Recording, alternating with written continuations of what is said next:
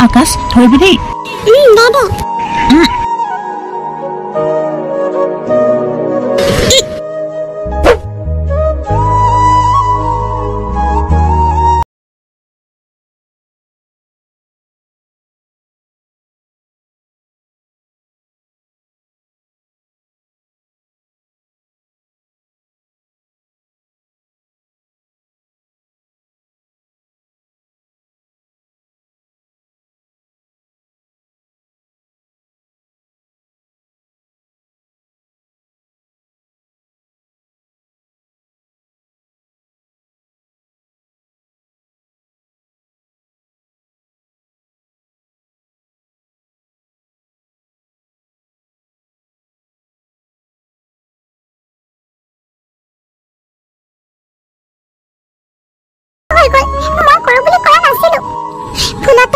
হাতৰ পৰা বলটো গৈ আইতাৰ খৰিটোত লাগিল আৰু খৰিটো ভাঙি থাকিলে। কিয় ভাঙিলি হা? কিয় ভাঙিলি?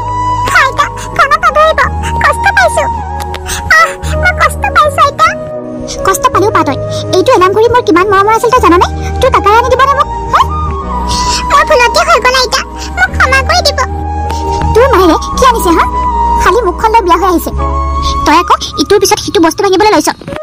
তেনেকৈ নকব মা। আকাশ বহুত সৰু ল'ৰা সি এইবোৰ একো নাজানে। বেছি মুখ নচলাবি তই তোৰ পুতেৰো তোৰ নিচিনাই মূৰ্খ। বিমলা কি হ'ল? ইমান সৰু ল'ৰাটো কেনেকৈ কিয় বকি আছা?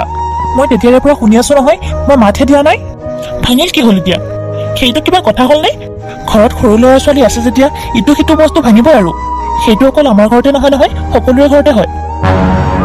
আপুনি কিন্তু বেছিকৈ সিহঁতৰ ফলীয়া হৈছে। সিহঁতৰ চাইড বেছিকৈ লোৱা হৈছে। আপুনি সিহঁতক বেছিকৈ মূৰত উঠা নল'ব কৈ দিছো। এইটো জানো তোমাৰো নাতি নহয় বিমলা? কেনেকৈ মোৰ নাতি হ'ল হা? কেনেকৈ মোৰ নাতি হ'ল? মই তাক কোনোদিনে নিজৰ বুলি ভবাই নাই। আপুনি সৌৰভক ৰাস্তাৰ পৰা তুলি লৈ আহিছিলে। ডাষ্টবিনত পৰি আছিলে সি। সৌৰভৰ পুতেক এতিয়া আকাশ? মোৰ কেনেকৈ নাতি হ'ল হা? আপুনিহে সিহঁতক নিজৰ বুলি ভাবে। মই কেতিয়াও ভবা নাই। আপুনিও মোক এইবোৰ কথা নক'ব কৈ দিছো। তুমি পাগলৰ দৰে কথা কিয় কৈছা হা? মা আপোনাক মই সাহায্য কৰিছো। সৰু ল'ৰাটোৰ আগত এইবোৰ কথা নক'ব। মই এইবিলাক একো নাজানো। তই গিয়াৰক কবি আজিয়ে মোক এটা ধুনীয়া চাই এলাৰ্ম কৰি আনি দিবলৈ। পুতেকে ভাঙিছে বুলি কবি। মা এখেতেনো ক'ৰ পৰা আনি দিব? দৰমহাও পোৱা নাই দেখোন। তেতিয়া পিতৃৰ দেউৰে আৰু জাইক চান্দনী আহিল। চিন্ময়ে গোটেই দিনটো ঘৰতে থাকে ৰাতিহে কামলৈ বুলি ওলাই যায়। সি কি কাম কৰে কোনেও নাজানে কিন্তু টকা উপাৰ্জন কৰে। আহা বৌৱে সদায় দুখৰ কথা শুনাই সকলোকে বস কৰি ৰখাইছে। এইবিলাক চব এওঁৰ নাটক। পইচা সিহঁতৰহে আছে কিয় নাই? লুকুৱাই থৈছে। ক'ৰবাত আমাৰ লগত খৰচ হ'ব বুলি লুকুৱাই থৈছে সকলোবোৰ।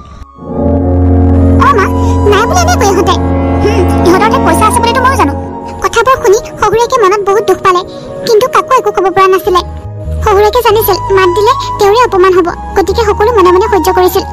এখেতে সৌৰভক সৰুতেই তুলি আনিছিলে আৰু সৌৰভ এতিয়া ডাঙৰ হ'ল। সৌৰভৰ পুতেক হৈছে আকাশ আৰু ঘৈণীয়েক হৈছে প্ৰীতি। কিন্তু বিমলাই কোনোদিনে সৌৰভক নিজৰ পুত্ৰ বুলি ভবাই নাছিল। কিন্তু ককাকে সদায় আকাশক নিজৰ নাতি বুলিয়ে ভাবিছিল আৰু সৌৰভকো নিজৰ পুত্ৰ বুলি ভাবিছিল। মা আপুনি মোক মূৰত তুলি ৰাখিছে। আজি ঘৰৰ কামবোৰ কেনেকৈ কৰিছে চাওকচোন? সকলোবোৰ দেখোন লেতেৰা হৈ আছে। ঘৰকেইটা ভালকে খাৰিব নোৱাৰে মা। লাগিব। নহ'লে তহঁতৰ দিনেও তাকে ঘৰৰ পৰা গোটেই বাহিৰ কৰি দিম। আৰু শুন এতিয়াৰ পৰা যদি তোৰ পুতেৰে কিবা বস্তু ভাঙে তেতিয়াহ'লে চাই ল'বি কিন্তু বান্ধি থবি তোৰ পুতেৰে মোক সোনকালে চাহ একাপ দিয়ক মোৰ মূৰটো বহুত বিষাইছে। ঠিক আছে চান্দিনী মই দিমগৈ। চান্দিনী তুমিনো ইমান সোনকালে উঠিব লাগে? শুই নাথাকিলে কিয়? মা মই বৰ কাৰণেহে উঠিব লগা হ'ল। বোলো ইমানকৈ শব্দ হৈছে কি নহ'ল বুলিহে আহিলো। আচলতে চান্দিনী বহুত ধনী ঘৰৰ ছোৱালী আছিল। বিমলাৰ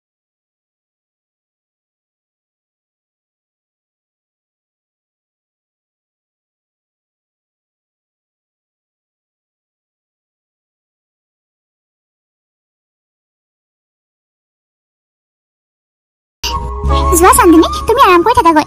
কাম কৰিবলৈ তাই আছে নহয়? অ মা মই চাহ একাপ খাই মই আকৌ আৰাম কৰিমগৈ। ইমান ধুনীয়া এলাৰ্ম ঘড়ীটো শেষ কৰি পেলালে। আনিবা দিয়ে নে নিদিয়ে ঠিক নাই আৰু। কি যে হ'ব নহয় এই মানুহজনীৰ পৰা মানে উপায় নাই। তুমি আহিলা? অ আহিলো। তুমি মোক এটা কথা কোৱাচোন তুমি প্ৰীতি পৰীৰ লগত কিয়নো এনেকুৱা ব্যৱহাৰ কৰা? আপুনি মনে মনে থাকক। হয় কিমান বস্তু ভাঙিছে সি আপুনি যদি নিজ চকুৰে দেখা পালেহেঁতেন তেতিয়া ক'লেহেঁতেন আপুনি। মই নেদেখিলো কি হ'ল? মইতো সকলোবোৰ শুনা পাওঁ। এনেই পইচা ইমান অভাৱ সিহঁতৰ দুটা ইমান বস্তু ভাঙা ভাঙি কৰি আছে। আকৌ পুতেকে ইমান বস্তু খাই থাকে। নিজেতো একো এটা ইনকাম কৰিব নোৱাৰে চিনেমাৰ পইচাই সকলোবোৰ খায়। সৌৰভে কমকৈ পইচা ঘটিব পাৰে কিন্তু যিকেইটা পইচা ঘটে তাৰেচোন আধা পইচা তোমাৰ হাততে দিয়ে। কি হ'ল এতিয়া? আমাৰ ওপৰত একো উপকাৰ কৰা নাই নহয়? বিমলা অঁ একো আমাৰ ওপৰত উপকাৰ কৰা নাই। সিহঁতে ইয়াত আছে যেতিয়া সেইখিনি খৰচ সিহঁতে কৰিবই লাগিব। সৌৰভ মোৰ সতীয়া পুত্ৰ। নিজ পুত্ৰ নহয়তো। তুমি কেতিয়াও বুজি নোপোৱা? আপুনিহে বুজি পোৱাটো উচিত। মই বুজি পোৱা দৰকাৰ নাই। চাব আপুনি এদিন পস্তাব লাগিব। ভালদৰে কান্দিব লাগিব আপুনি। তেতিয়া ক'ব মোক। মই এতিয়াও পস্তাই আছো বিমলা। অন্তৰে কান্দি আছে মোৰ কিন্তু কাকো একো ক'ব পৰা নাই। ঘৰৰ পৰিস্থিতিবোৰ দেখা পায়। কি হ'বলৈ গৈ আছে নাজানো আৰু। আৰু শুনক এইবোৰ কথা মোক কৈ মোক আমনি নিদিব। মই তাক কেতিয়াও নিজৰ ল'ৰা বুলি নাভাবোঁ। মোৰ ল'ৰা দুটাহে চিন্ময় আৰু মানৱ। তেতিয়াহ'লে তুমি সৌৰভৰ পৰা যে টকা লোৱা দৰমহাৰ আধা অংশ লোৱা তুমি সিহঁত দুটাৰ পৰাও লোৱা। কিয় নিদিয়ে? চিন্ময়ে মোক নিবিচাৰিলেও দিয়ে পইচা। সি বহুত ইনকাম কৰে। মই বুঢ়ী হ'লে মোৰ আচল পুত্ৰকেইটাহে মোক চাব। সৌৰভে মোক নাচায়। এই সৌৰভে মোক চাবতো নোৱাৰে নোৱাৰে একো এডাল দিব নোৱাৰে। হ'ব চাম বাৰু। অঁ চাই ল'ব। এতিয়া আমাৰ মানৱীয় চহৰত পঢ়ি আছে। কিছুদিনৰ পিছত সিও ঘৰলৈ আহিব। তেতিয়া আপুনি পঢ়ি থাকিব আপোনাৰ প্ৰীতি আৰু সৌৰভৰ লগত। আহিল আকৌ এইখিনি সময়ত।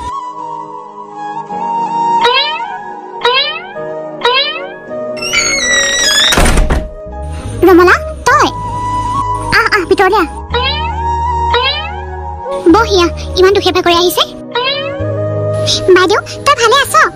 আছো দেউ এইকেইদিন ফ্ৰী আছিলো সেইকাৰণে বোলো বাইদেউহঁতৰ ঘৰৰ পৰা আহোগৈ। ভালে কৰিলি দে ৰমলা। মোৰ বৰ ভোক লাগিছে কিবা এটা খুৱাবিনে? হ'ব এতিয়া মই কৈ আছো লগতে আনি দিব। তই বচোন অলপ মই আনোগৈ। বৰ ভোক লাগিছে কিবা এটা খাই লওঁ। ঐ তই এইবোৰ খাই কি কৰিবি হা? গোটেই দিনটো দেখোন খাই থাক পুতে আৰু মাৰে মিলি। হেঁপাহ নপলাই তোৰ? মই দেখোন ৰাতিপুৱাৰ পৰা একোৱে খোৱা নাই মা। তই মোৰ ওপৰত একো উপকাৰ কৰা নাই বুজিছ? তই পিছত খালেও হ'ব। তই এদিন নাখালে মৰি নাযাওঁ নহয়। মোৰ ভণ্টিজনী ইমান দিনৰ মূৰত আহিছে তাই খাব এইখিনি। দে তই খাব নালাগে। মায়ে মোক কেতিয়াও নিজৰ বুলি নাভাবে।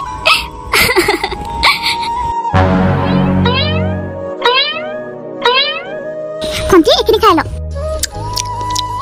বহুত ধুনীয়া হৈছে দেই খাবলৈ। খা খা ময়ে বনাইছো। প্ৰীতিটো একোৱে নকৰে। সতীয়া পুত্ৰৰ বোৱাৰী। তোৰতো নিজৰ বোৱাৰী নহয়। সেইকাৰণে তেনেকুৱা। গিৰিয়েকৰহে কাম কৰিব তোৰনো কিয় কৰিব? ঘৰৰ পৰা বাহিৰ কৰি দে।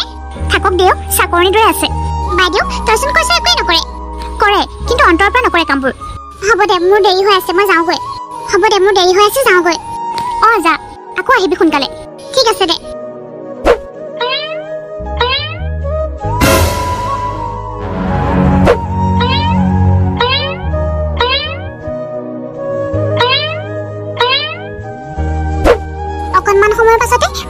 পাকঘৰলৈ যায় আৰু দেখে যে শাহুৱেকে আৰু এখন প্লেটত পৰঠা আৰু চব্জি লয়। ঐ তই কি কৰি কৰি চাইছ হা? এতিয়া তই কি মোৰ খোৱাৰ ওপৰতো নজৰ দিবি নেকি? মা মোৰ বৰ ভোক লাগিছিলে সেইকাৰণে মই ৰুটি এটা নিবলৈ আহিছিলোঁ খাবলৈ। দুটাই আছিলে মই লৈ ল'লোঁ আৰু নাই। তই কাম এটা কৰ ৰাতিলৈ খাবি এতিয়া নালাগে খাব। কিন্তু মা। কোনো কিন্তু চিন্তু নাই।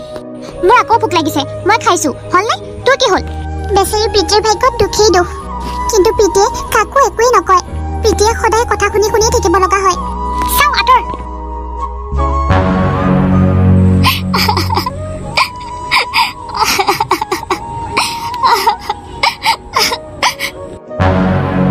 প্ৰীতি প্ৰীতি। কিনো কৰি আছা? মই অফিচলৈ যাওঁ দিয়া। ৰাতিপুৱা চাৰিটাতে উঠা। এনেই অলপ বহিছোঁ। ভাগৰ ভাগৰ লাগিছে যে। ঠিক আছে দিয়া নহ'লে। শুনাচোন। আমাৰ আকাশে মাৰ এলাৰ্ম ঘড়ীটো ভাঙিলে। কালি বল খেলি থাকোঁতে এলাৰ্ম ঘড়ীটোত লাগি ঘড়ীটো ভাগি থাকিলে। তুমি পাৰা যদি এটা মাক আনি দিবাচোন। মায়ে মোক কৈ আছে নতুন এটা ঘড়ী আনি দিবলৈ। তুমি পাৰিবানে আনি দিব? হ'ব মই যেতিয়া দৰমহা পাম তেতিয়া আনি দিম বাৰু। আহ, সৌৰভ তুমি বহুত চিন্তাত থকাৰ দৰে লাগিছে। কিবা টেনশ্যনত আছা? প্ৰীতি তুমিতো জানাই মই দৰমহা পাওঁ মাত্ৰ পোন্ধৰ হাজাৰ টকা। সেই পোন্ধৰ হাজাৰ টকাৰে আকাশকো পঢ়াব লাগে ঘৰতো দিব লাগে। মই একেবাৰে চলিব নোৱাৰা হৈ গৈছোঁ প্ৰীতি। হ'ব দিয়া সৌৰভ তুমি চিন্তা নকৰিবা সকলো ঠিক হৈ যাব। অঁ তুমি কিবা খালানে নাই পিছে? মোৰ কথা চিন্তা কৰিব নালাগে তুমি খালানে নাই সেইটো কোৱা। খালোঁ দিয়া মই ৰুটি দুখন খাই আহিছোঁ। ঠিক আছে দিয়া নহ'লে তুমি যোৱা। মায়ে যদি তথাপি বুজি পালে হয় মানুহজনৰ মুখৰ ফালে মই চাবই নোৱাৰোঁ বহুত দুখ লাগে। মায়েতো তেখেতক কেতিয়াও নিজৰ ল'ৰা বুলি নাভাবেই। দেউতাই যিখিনি মৰম কৰে সেইখিনি মৰমৰ পৰাও বঞ্চিত কৰিব বিচাৰে মায়ে। হে ভগৱান কেতিয়া এইবোৰ সকলো ভাল হৈ যাব? কেতিয়া মায়ে বাৰু আমাক নিজৰ বুলি ভাবিব?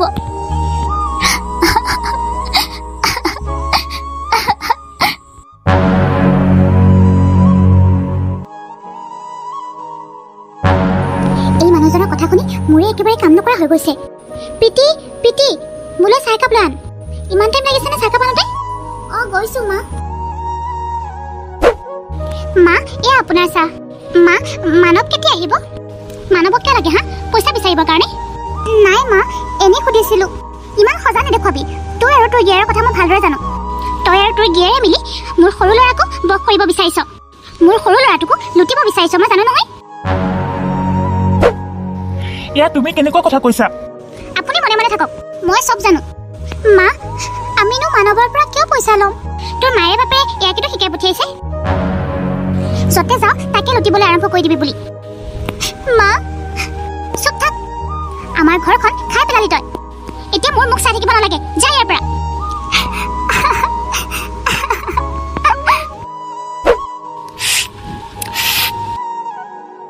ঠাণ্ডাই হৈ গ'ল চাহখিনি।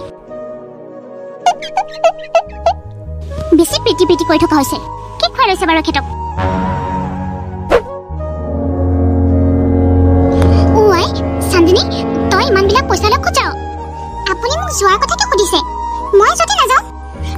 নহয় মানে মই এনেই সুধিছিলোঁ।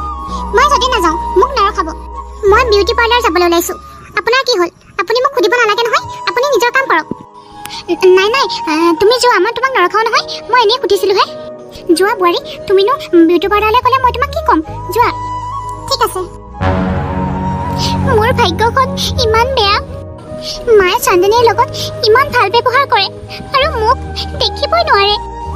মায়ে মোক কেতিয়াও নিজৰ বুলি নাভাবিবই নেকি বাৰু? মনোজ আজি মানসিক দেখা পোৱা নাই। ক'ত গৈছে তাই? অ' মানসি অঁ, আজি তাইৰ লগৰ ৰিজুৰ বিয়া নহয় তালৈ গৈছে। তই এইবিলাক ক'ৰ পৰা গম পাৱ?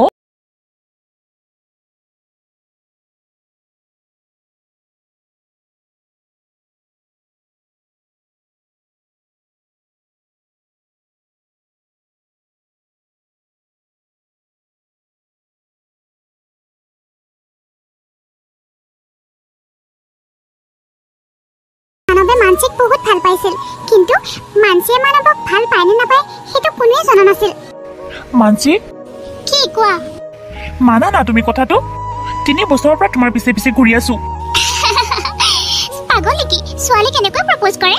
তুমিয়ে কোৱাচোন কেনেকৈ প্ৰপ'জ কৰে? তুমি যি কোৱা মই তাকে কৰিম। এই বিয়াখনত তিনিশ চাৰিশ মান মানুহ আছেই। অঁ। তুমি এনেকুৱা কৰিব পাৰিবানে? ষ্টেজত গৈ পেলাই মোৰ নাম লৈ প্ৰপ'জ কৰিবলৈ? পাৰিলে কি তুমি হা বুলি ক'বা নেকি? অঁ কৈ দিম। কিন্তু পিছত না বুলি নক'বা। মই ভালদৰে জানো তুমি যে কৰিব নোৱাৰা তুমি তাত গৈ তোমাৰ ভৰিখনে কঁপিব মই ভালদৰে জানো। হ'ব বাৰু চাই লওক ঠিক আছে যোৱা তেন্তে মানসিয়ে কোৱা মতে মানৱে ষ্টেজলৈ গুচি গ'ল। সঁচাই পাৰিব নেকি সি? মানসিয়ে কোৱাৰ মতে মানৱে ষ্টেজলৈ গুচি গ'ল আৰু তাই কোৱাৰ দৰে তাৰ ভৰিখন কঁপিবলৈ ধৰিলে। মই কৈছিলো নে মানৱ তুমি নোৱাৰা বুলি? গুচি আহা। তুমি একোডালে কৰিব নোৱাৰা। কিন্তু মানৱে বুকুত সাহস গোটাই ক'বলৈ ধৰিলে। মানসি আই লাভ ইউ আজি বহুত মানুহৰ আগতে মই তোমাক প্ৰপ'জ কৰিছোঁ। মই তোমাক বহুত ভাল পাওঁ মানসি। তুমি মোৰ লগত বিয়া হ'বানে? মানসিয়ে কথাটো শুনি আচৰিত হৈ গ'ল। তাই ভাবিছিল মানৱে সকলো মানুহৰ আগতে কথাটো ক'বলৈ নোৱাৰিব। কোৱা না মানসি? হ'বানে তুমি মোৰ কইনা? হ'বানে তুমি মোৰ লগত বিয়া? ঠিক আছে মানৱ। এইটো আছিল মানৱৰ লাভ ষ্টৰী কিন্তু মানৱৰ ঘৰত এইবিলাক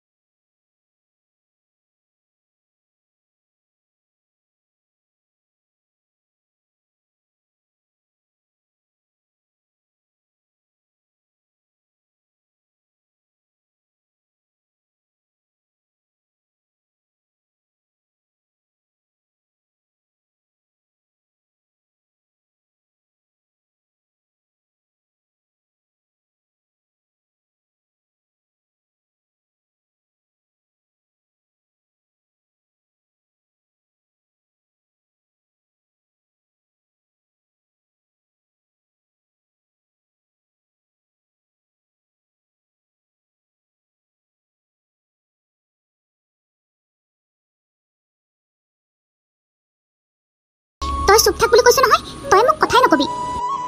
বাহ মোৰ ল'ৰাই বিয়া পাতিলে? বহুত ভাল কৰিলি মানৱ। অঁ দেউতা। হে ভগৱান মানৱ তুমি ছোৱালী পলুৱাই আনিলা? নহয় বৌ পলুৱাই অনা নাই। তাত আমি ভালদৰে নিয়ম নীতি কৰে বিয়া পাতিয়ে লৈ আহিছোঁ। একো অনা নাই মানে খালী হাতেৰে আহিছে? নাই নাই বৌ খালী হাতেৰে অহা নাই। হয় নেকি? এ, কি লৈ আনিছ? আমিও চাওঁ। প্ৰথমতে আমাক ভিতৰলৈকে আহিবলৈ দিয়া। তাৰপিছত সকলো কথা ক'ম। শাহুৱেকে ভাবিলে মানসীয়ে বহুত বস্তু আনিছে। সেইকাৰণে মানৱ আৰু মানসীক ভিতৰলৈ আহিবলৈ ক'লে। দেউতা মোক আশীৰ্বাদ কৰিব। মোৰ আশীৰ্বাদ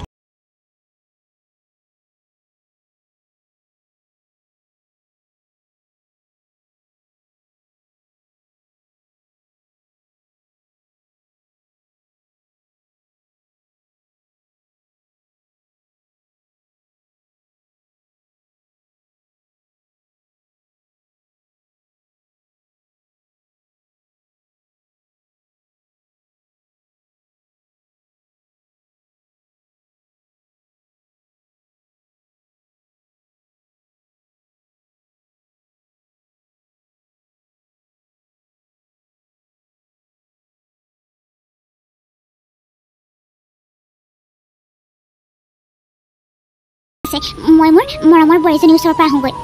আজিৰ পৰা মই তাইক বহুত মৰম কৰিম। ইমানবোৰ কথা কৈ দিলোঁ তাইক বেয়া লাগিছে নহয় এতিয়া? আৰু মানৱৰ মাক মানসীক লগ কৰিবলৈ গ'ল।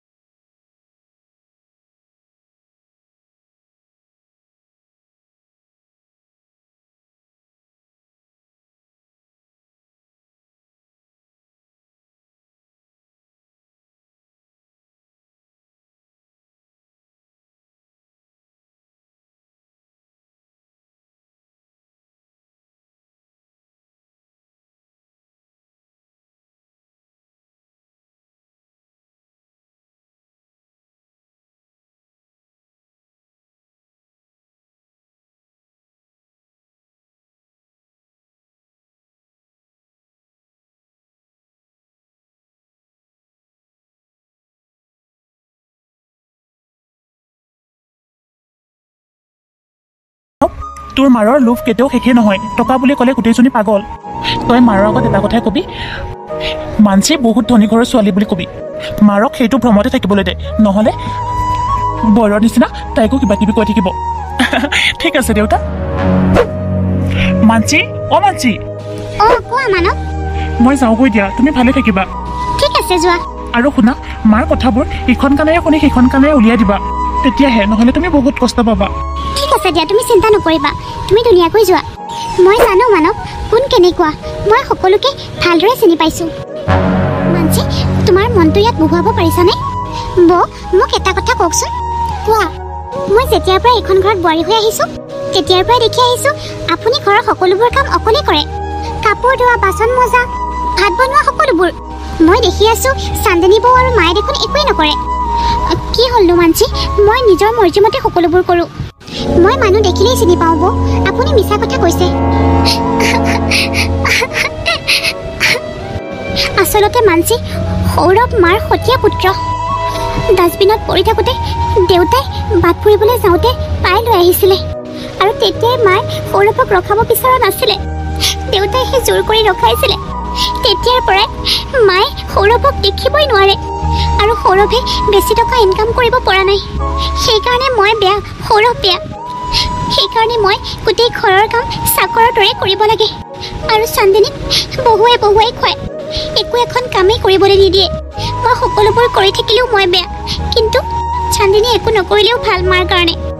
আৰু সতীয়া পুত্ৰৰ কাৰণে সৌৰভক আৰু মোক একেবাৰে ভাল নাপায়। চান্দিনী বৈ দেখোন দিনৰ দিনটো ফেশ্বনতে বহি থাকে। কাম বন কৰাটো দূৰৰে কথা। চান্দনী বহুত ধনী ঘৰৰ ছোৱালী তাই একো কাম কৰিবই নাজানে। সেইকাৰণে মায়ে তাইক একো কাম কৰিবলৈ নিদিয়ে। অ' সেইটোহে কথা। চান্দনী বৌক কাম কৰিবলৈ মই শিকাই দিম। আপুনি চিন্তা নকৰিব বৌ। এনেকৈ নক'ব মানসী। মায়ে মায়ে মোক মোক বহুত গালি পাৰিব। আপোনাক আকৌ কিয় গালি পাৰিব মায়ে? এতিয়া এইখন ঘৰলৈ মই আহিলোঁ। আগৰ নিচিনা একোৱেই নহয়। সকলোবোৰ সলনি হ'ব লাগিব এইখন ঘৰত। চান্দনী বৌ? অঁ মানসী। পিতি বৌক তেতিয়াৰ পৰাই চিঞৰি আছোঁ। কলা হৈছে নেকি বাৰু? শুন অথনি উঠিলোঁ। চাহ একাপ দিব পাৰেনে নোৱাৰে বাৰু? আপোনাৰ হাতত মেহেন্দি লাগি আছে নেকি বৌ? মানে মই নিজৰ চাহকাপকে নিজে বনাই খাম নেকি? অঁ আপুনি নিজৰ কাৰণে চাহকাপো বনাই ল'ব নোৱাৰেনে? আপুনি একো এখন কাম নকৰাকৈ এনেকৈ বোৱাৰী হৈ খাবলৈ আহিছেনে? মানসী! আপুনি আপোনাৰ চাহকাপ নিজে বনাই লওক অ'কে? মোক এনেকৈ কথা ক'বলৈ ইমান সাহস তোমাৰ? আজিলৈ মোক পিতিবুৱে এনেকৈ কৈ পোৱা নাই। সেইকাৰণেতো আপুনি পিতিবক ইমান নচুৱাব পাৰিছে। মোক কথা ক'বলৈ ইমান সাহস হ'ল তোমাৰ? ক'ত ইমান সাহস পালা? আপোনাৰ সাহসনো মই ক'ত দেখিলোঁ বৌ? আৰু এটা কথা আপুনি আপোনাৰ ৰুমটো নিজে চাফা কৰি ল'ব। তই ৰহ মই এতিয়া মাৰ আগত তোৰ কথাবোৰ সকলোবোৰ লগাই থৈ আহোঁ। তই এটা কথা জাননে? মায়ে যে মোকে সকলোতকৈ বেছি ভাল পায়? ৰহ পাবি ৰহ মোক এনেকৈ কথা কোৱাৰ সাহস পালি তই? ঠিক আছে মাৰ আগত কওকগৈ অ'কে মা বৌ আপোনাক এনেকৈ কথা নক'লে আপুনি কিজানি কেতিয়াও ভালেই নহ'ব। আপুনি প্ৰীতিবৰ লগত বহুত অন্যায় কৰি আছে আৰু মই এই অন্যায় হ'বলৈ নিদিওঁ। প্ৰীতিবৰ বহুত সহজ সৰল আৰু সহজ সৰল পাই আপুনি বহুত কষ্ট দিছে। মা অ' মানসী কচোন। মানসী বৰ ইমান সাহস। কিয় কি কৰিলেনো তাই? প্ৰীতিবক মই চাহ একাপ খুজিলোঁ আৰু মানসী বৈ আহি মোক ইমান বেয়াকৈ কৈছে। কৈছে আপুনি নিজৰ চাহকাপ নিজে বনাই খাব নোৱাৰে নেকি? আৰু বহুত কথা মা। হয় নেকি? মাতচোন তাইক। মই মাতো ৰ মানসী? অ মানসী। অ মা। চান্দিনীয়ে তোৰ কথা কি কৈছে তই বৈৰক কি কৈছিলি? মই কিবা ভুল ক'লো নেকি মা? মই ভাবোঁ মই একো ভুল কথা কোৱা নাই। চান্দিনী বৌয়েতো নিজৰ কামখিনি নিজেই কৰিব পাৰে। প্ৰীতি বৌয়ে নিজৰ কামখিনিৰ লগতে ঘৰৰ সকলোবোৰ কামেই কৰে। চান্দিনী বৌয়ে যদি অকণমান সহায় কৰি দিয়ে প্ৰীতি বৌয়েতো অলপ হ'লেও সহায় পায়। গোটেই দিনটো প্ৰীতি বৌয়ে কামেই কৰি থাকে। কিয়? তাইৰ ওপৰত তোৰ দয়া পজিছে নেকি? যিয়ে নকৰক লাগিলে গোটেই দিনটো কৰি থাকক। কি হ'ল এতিয়া? কিয় পিটিব মেচিন নেকি? গোটেই ঘৰৰ কামবোৰ যে অকলে কৰি থাকিব? আৰু এওঁ কৰিব নোৱাৰে? মই দেখাততো এওঁৰ হাত ভৰিবোৰ সকলোবোৰ ঠিকে আছে। কিয় কৰিব নোৱাৰে নিজৰ কামবোৰ?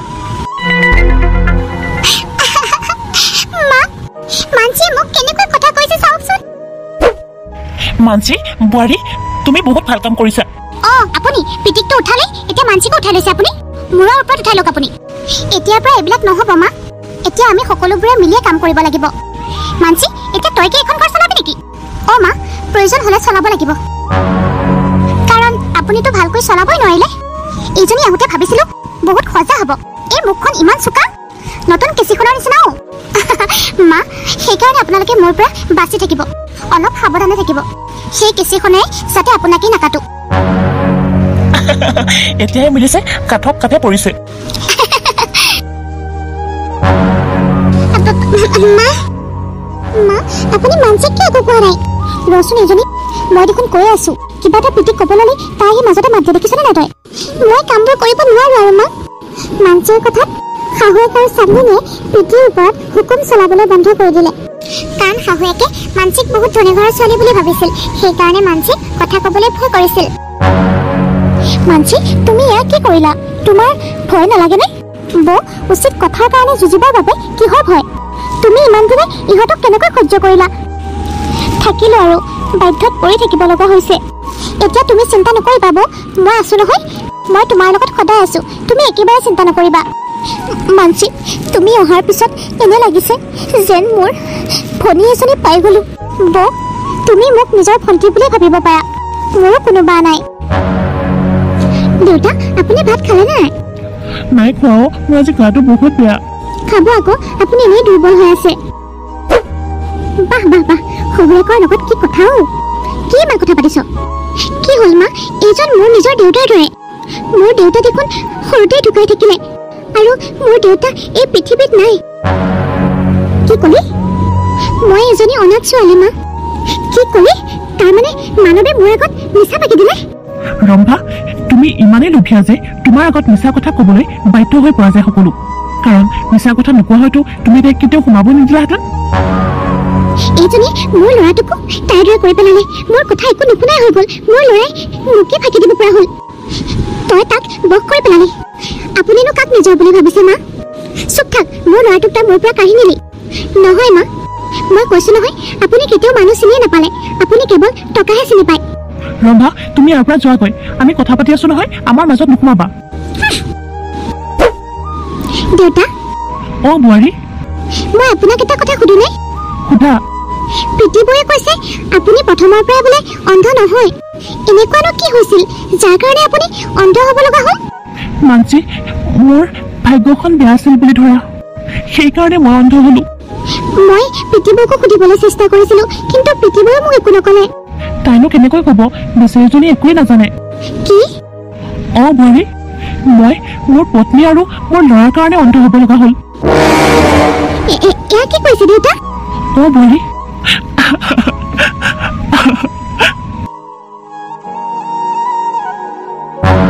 আপুনি আজি ক'তো যাব নোৱাৰে। কিয় ৰম্ভা কি হ'লনো মই দেখোন কালিয়ে কাপোৰ চাপোৰ সকলোবোৰ পানীয়ে থৈ দিছো। আজি মোৰ চকুৰ অপাৰেশ্যন আছে। মই কৈছো নহয় অপাৰেশ্যন পিছতো কৰিব পাৰিব। কিন্তু ডক্তৰে কৈছে আজি নকৰিলে মোৰ বহুত অসুবিধা হ'ব। বহুত ডাঙৰ বিপদ আহিব পাৰে। এই ডক্তৰবিলাকে পইচাৰ কাৰণে বহুত মিছা মিছা কথা কয়। আপোনাৰ একো নহয়। মায়ে ঠিক কথাই কৈছে দেউতা। আজি আমাৰ ঘৰলৈ চান্দিনী আৰু চান্দিনীৰ মাক আহিব। গতিকে তুমি ক'তো যাব নালাগে। তই এইটো কথা কলি কিয় দুই তিনিদিন পিছত আহিবলৈ। নকওঁ কিয় আজি দেউতাৰ অপাৰেশ্যন আছে বুলি? নালাগে দেউতা। তাইৰ কাৰণে বেলেগ ল'ৰা এটা চাইছে যদি মাক ইয়ালৈ আহিবলৈ নাপায় আজি তেতিয়াহ'লে তেতিয়াহ'লে তাইক বেলেগৰে বিয়া দি দিব। হ'ব আজি আপুনি নগ'লেও হ'ব। আজি যদি আপুনি অপাৰেশ্যন নকৰে তেতিয়াহ'লে আপুনি অন্ধ হৈ নাযায় নহয়? ঠিক আছে মই বাৰু আজি নাযাওঁ। যা দোকানৰ পৰা কিবা এটা লৈ আহ। গোলা চোৰা মিঠাই চিঠাই যিমান পাৰ লৈ আহিবি। ঠিক আছে মা। সেইকাৰণে মই অন্ধ হৈ গ'লো। কথাখিনি শুনি বহুত দুখ লাগিল দেউতা। সেইকাৰণেতো মই কওঁ মই মোৰ পত্নী আৰু মোৰ ল'ৰাৰ কাৰণে অন্ধ হলো। ঘৈণীয়েক ৰন্ধাই সিহঁত দুটাৰ কথা মনে মনে শুনি আছিলে। অঁ মইতো আপোনাক অন্ধ কৰিলো। এতিয়া মই কি কৰিব লাগে কওকচোন? কি কৰিম মই? মোৰ চকুকেইটা অন্ধ কৰি ল'ম নেকি? চকুকেইটাকে ফুটুৱাই দিওঁ নহ'লে মই? অ ফুটুৱাই দিয়া। তোমাৰ ইমানখিনি সাহস আছে। মই কিয় ফুটাম নিজৰ চকু জুৰি? আপোনাৰ লগত অন্ধ হৈ বহি থাকিব নোৱাৰো নহয় মই?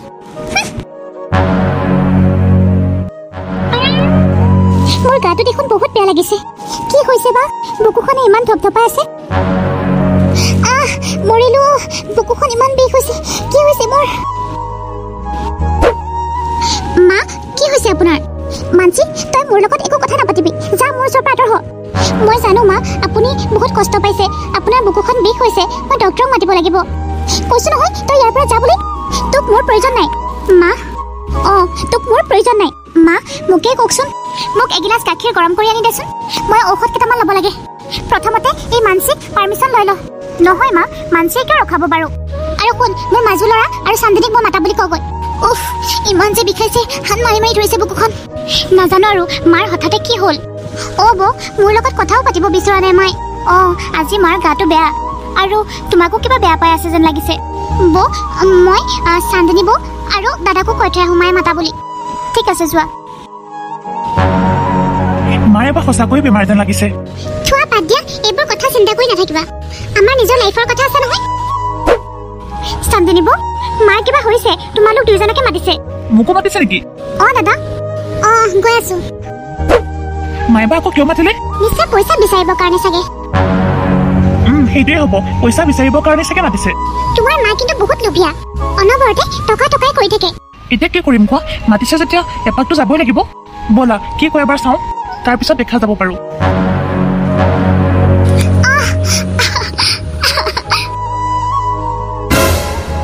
তেতিয়াই তালৈ সৌৰভ মানসী আৰু প্ৰীতি আহে হে ভগৱান মাৰ দেখোন বেছিহে হৈছে। চান্দিনী আৰু চিন্ময়কো মাতচোন তহঁতে। মোৰ এনেকুৱা লাগিছে মই কিজানি মৰিয়ে থাকিম। আপুনি তেনেকৈ নক'ব মা। আপোনাৰ একো নহয়। মা আপোনাক এতিয়া আমি হস্পিটেললৈ যাম। মই চবকে এটা কথা কওঁ প্ৰথমতে এই মানসীক মোৰ চকুৰ আগৰ পৰা আঁতৰ কৰি দে। নহ'লে মই সময়তকৈ আগতেই মৰি যাম। মানসীয়ে কান্দি কান্দি তাৰ পৰা গুচি যায়। সৌৰভ সোনকালে এম্বুলেঞ্চ মাত। মাৰৰ গাটো সঁচাকৈয়ে বেয়াও। মই বৰ কষ্টত আছো সৌৰভে এম্বুলেঞ্চক ফোন কৰিবলৈ গুচি যায়। কিছু সময়ৰ পাছতে শাহুৱেকক হস্পিটেললৈ লৈ যায়। সোনকালে বলা। চাঞ্জনী বৌ দাদা মানচি ৰাতি তিনিটা বজাত কলৈ যায়? মই মাৰ ঘৰলৈ যাওঁ। কি? কিন্তু কোনো কিন্তু নাই। মই মাৰ ঘৰলৈ যাম বুলি কৈছো নহয়। কিন্তু মাৰ দেখোন বহুত অসুখ। হস্পিটেল আছে। দাদা চাঞ্জনী বৌ যাওক আপুনি কিয় যাব লগা হ'ল? আপুনি হস্পিটেলহে যাব লাগে?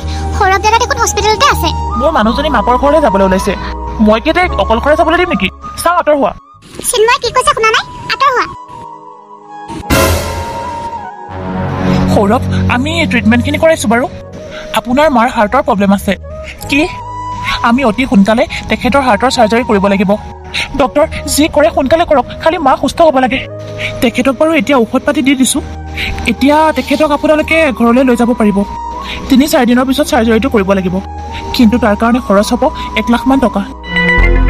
সৌৰভৰ হাতত এক লাখ টকা দূৰৰে কথা। দহ হাজাৰ টকাও নাছিলে। হে ভগৱান এতিয়া মই কেনেকৈ কি কৰিম? কথাটো শুনি সৌৰভৰ মূৰত আকাশ ভাগি পৰিছিল। কাৰণ সৌৰভে যিটো চাকৰি কৰে তাৰ চেলাৰী মাত্ৰ পোন্ধৰ হাজাৰ টকাহে।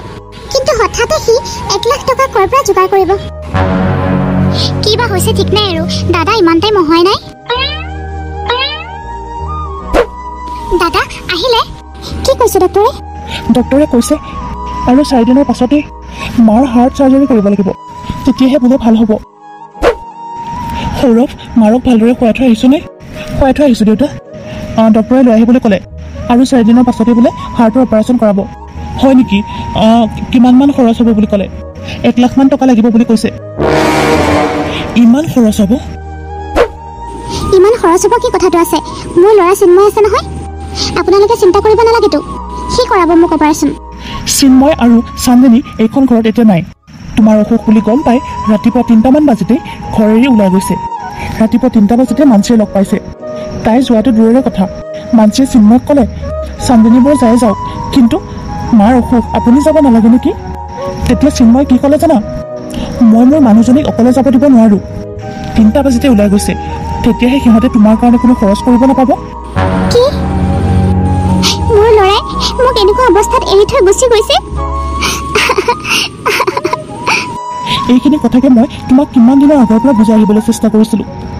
নাই এনেকুৱা কৰিব নোৱাৰে মোৰ ল'ৰাই। এতিয়া কি হ'ব? মা আপুনি চিন্তা নকৰিব বেছিকৈ। আমি আছো নহয় সকলো ঠিক হৈ যাব। তই মোৰ কথা কোৱাৰ মাজত উত্তৰ নিদিবি বুলি কৈছিলো নে নাই? তোক মোৰ দেখিবলৈ মন নোযোৱা হৈছে। তই মোৰ চকুৰ আগৰ পৰা আঁতৰি যা। নহ'লে তোৰ মুখখন দেখি দেখিয়ে মই প্ৰয়োজনতকৈ আগতে মৰিম। তুমি ইয়াক এনেকুৱা কথা কৈছা। বোৱাৰীজনীয়ে দিন ৰাতি একো এটা নোখোৱা নোখোৱাকৈ তোমাৰ কাৰণে চিন্তা কৰি আছে আৰু তুমি? আপুনি এইজনী কথা বেছিকৈ নুশুনিব। এইজনী এজনী খাপ। কেতিয়া কেতিয়া আপোনাক খুটি দিয়ে ঠিক নাই। অকণমান সাৱধানে থাকিব সকলো। সৌৰভ আমি ইমানবোৰ পইচাৰ যোগাৰ ক'ৰ পৰা কৰিম? আপোনালোকে বেছি চিন্তা কৰি নাথাকিব দেউতা। মই কি কৰিব পাৰোঁ চাওঁচোন। এতিয়া যাওক আপোনালোকে শুই লওকগৈ মানৱ তুমি যিমান পাৰা সোনকালে গুচি আহা। মাৰ গাটো বহুত বেয়া হস্পিটেল লৈ গৈছে। আৰু তেখেতে মোক বহুত বেয়া পাই আছে মানৱ। মোক ভালদৰে মাতাই নাই। আৰু মাক অতি সোনকালে হাৰ্টৰ চাৰ্জাৰী কৰিব লাগিব। তাৰ কাৰণে এক লাখ টকামান খৰচ হ'ব বুলি কৈছে। চোৱা মানসী মোৰনো চাকৰি হোৱা কিমান দিন হৈছে? পইচা দেখোন মোৰ ওচৰতো ইমান নাই। তথাপিও মই যিমান পাৰোঁ যোগাৰ কৰিবলৈ চেষ্টা কৰোঁ বাৰু। একো নহয় মানৱ। আহ, তুমি চিন্তা কৰিব নালাগে। আমি ইয়াতো অলপমান যোগাৰ কৰিছোঁ। তুমি যিমান সোনকালে পাৰা আহি যোৱা। ঠিক আছে তুমি খালি মাৰ ধ্যান ৰাখিবা। মই যিমান পাৰোঁ সোনকালে ছুটীলৈ আহিবলৈ চেষ্টা কৰিম। ঠিক আছে দিয়া। কিয় তুমি ইমান টেনশ্যনত থকা নিচিনা লাগিছে? কি হৈছে? ছাৰ মোৰ মাৰ বহুত অসুখ। মোক এক লাখ টকাৰ বহুত প্ৰয়োজন। মোক এটা লোন লাগিছিলে ছাৰ। আমাৰ কোম্পানীটো ইমান ডাঙৰ নহয় নহয়? হয় ছাৰ কিন্তু মোৰ মাৰ জীৱন আৰু মৰণৰ কথা আছে। আপুনি বুজিবলৈ চেষ্টা কৰক ছাৰ। এক লাখ টকা তুমি এটা কণ্ডিশ্যনতে পাবা। কওক ছাৰ মই যি টি কৰিবলৈ সাজু আছোঁ। তুমি যদি নিজৰ চাকৰিৰ পৰা ৰিটায়াৰমেণ্ট লোৱা তেতিয়াহে এক লাখ টকা পাবা। কিন্তু ছাৰ মই দেখোন এইটো চাকৰি কৰি কিবা এটা কৰি চলি আছোঁ। এইটো চাকৰি গ'লে মোৰ হাতত দেখোন একোৱেই নাথাকিব। মই এইটো কথাত তোমাক একো সহায় কৰিব নোৱাৰিম। এইটো তোমাৰ ডিচিশ্যন ঠিক আছে ছাৰ মই ভাবি পেলাই ক'ম বাৰু। প্ৰীতি মই অফিচত ছাৰৰ লগত কথা পাতিলোঁ। ক'লে ইমান ডাঙৰ কোম্পানী নহয় কোনো লোন চোন দিব নোৱাৰে। এতিয়া কি কৰিব? পইচা কেইটা নহ'লেও দেখোন নহ'ব। মাৰ জীৱন মৰণৰ কথা আছে। তাকে সেও কিন্তু এটা উপায় কৈছে। কি? মই যদি চাকৰি ৰিটায়াৰমেণ্ট লওঁ। ৰিটায়াৰমেণ্ট হিচাপে এক লাখ টকা দিব বুলি কৈছে। কিন্তু মোৰ এই চাকৰিটো গুচি গ'লে মোৰ দেখোন হাতত একোৱেই নাথাকিব। এইটো কৰিয়ে কিবা এটা কৰি চলি আছিলোঁ। সৌৰভ চাকৰিটো গ'লে তুমি কিবা এটা কৰিও চাকৰি এটা পাবা। কিন্তু মা গুচি গ'লে আৰুতো নোপোৱা। অঁ তুমি ঠিকেই কৈছা। আমিতো মাৰ কাৰণে এইখিনিকে নকৰি কি কৰিম কোৱা? তুমি তোমাৰ চাকৰিটো এৰি দিয়া। ৰিটায়াৰমেণ্টটো লৈ লোৱা। অঁ প্ৰীতি ময়ো এইটোৱে কৰিব বিচাৰিছিলো। কিন্তু তোমাক সোধাটো মই প্ৰয়োজন বুলি ভাবিলো। সেইকাৰণে সুধিলো। ৰবাচোন মই মাৰ দেউতাৰ ওচৰৰ পৰা আহোঁ। ঠিক আছে যোৱা।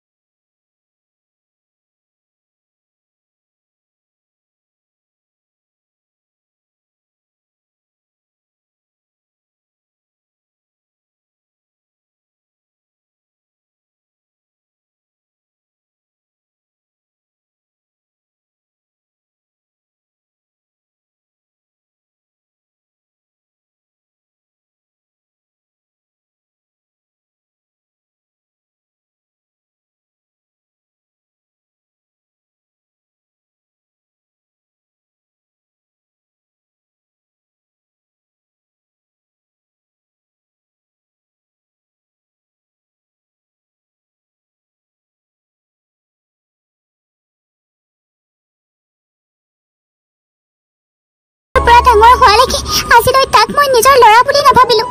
কিন্তু সি আজি মোৰ কাৰণে ইমান ডাঙৰ বলিদান দিলে। যিটো তোমাৰ আচল ল'ৰা আছিল সেইটোৱে তোমাক এৰি থৈ গুচি গ'ল। আৰু যিটোক তুমি সতীয়া পুত্ৰ বুলি ভাবিছিলা সেইটোৱে আজি ইমান ডাঙৰ বলিদান দিলে কেৱল তোমাৰ কাৰণে। বহুত বেয়া আছিলো মই। সেইকাৰণে চাগে ভগৱানে মোক ইমান ডাঙৰ বেমাৰ এটা দিছে। হে ভগৱান মোক ক্ষমা কৰি দিয়া। মই সৌৰভৰ লগত পিতৃৰ লগত বহুত বেয়া কৰিলো বহুত অন্যায় কৰিলো। আনকি মই আকাশকো নিজৰ নাতি বুলি ভবা নাছিলো।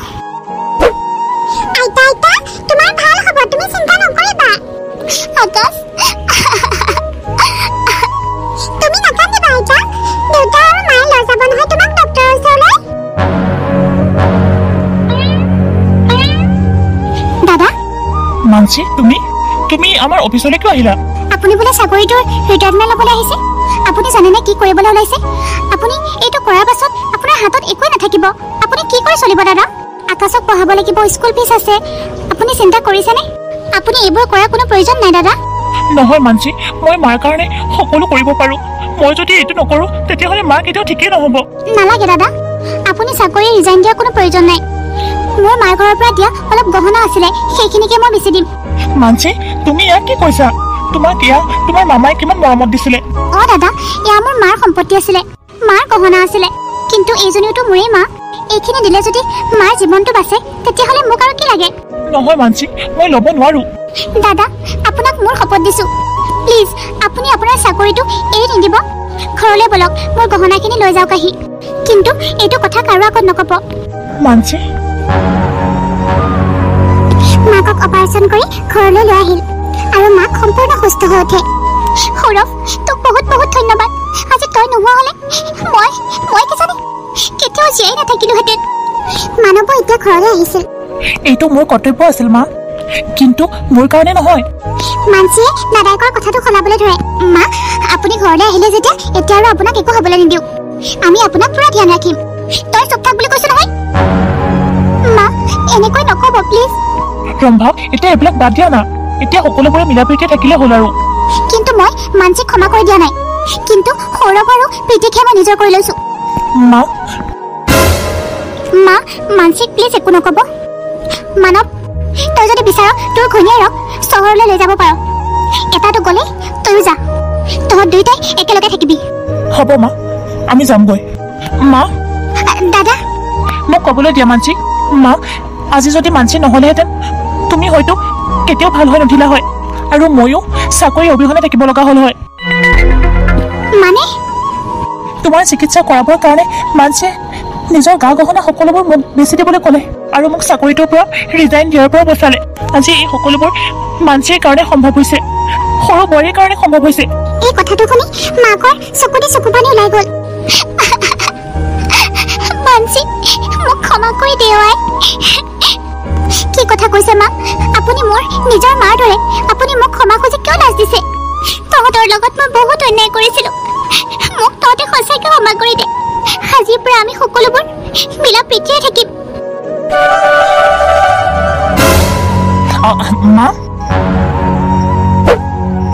তোমাৰ বোলে অপাৰেশ্যন হৈছিল? মই গমেই পোৱা নাছিলোঁ। মোৰ ঘৰৰ পৰা তহঁতে ওলাই যা। নিজৰ পুত্ৰৰ নামত তহঁতে কলংক মোৰ চকুৰ আগৰ পৰা আঁতৰি যা তহঁতে।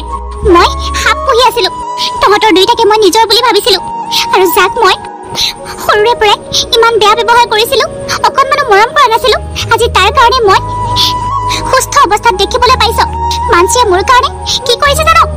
গোটেই গহনাবিলাক বেচি দিছে। আনকি মই যাক খতীয়া পুত্ৰ বুলি ভাবিছিলো সৌৰভে চাকৰি পৰ্যন্ত ৰিজাইন দিবলৈ কৈছিলে। কিন্তু তহঁতৰ দুইটাই কি কৰিলি? তহঁত দুইটাই মোৰ বেমাৰ বুলি ৰাতি তিনিটা বাজিতে পলালি। মা তেনেকৈ নকবা।